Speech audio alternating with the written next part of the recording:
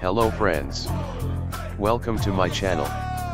This is a sad video, for Indian PUBG warriors. Watch this video until end. And join Team Mezaiah by hit the subscribe.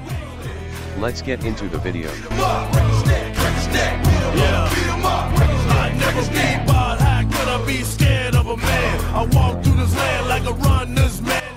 Today Indian government has released a news which, Indian government banned 118 apps among PUBG Mobile.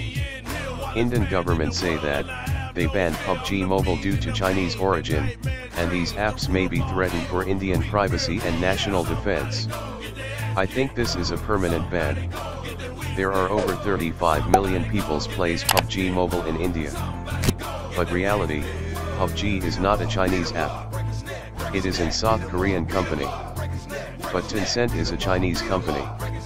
That's why Indian government banned PUBG. Tencent is company which collabs with PUBG Mobile. On earlier PUBG developed only for PC. But PUBG Corporation has been collabed with Tencent for develop PUBG Mobile. Indian PUBG streamers discussing about making alternative way. PUBG officials will give us a solution soon. Because India is the biggest marketplace for them. PUBG Corporation may be release a unique app for Indian people. Like PUBG KR. Else they will lose the privacy control. So that's it for now. We will miss Indian PUBG friends. Thank you for watching this video. Don't forget hit the subscribe button. Bye.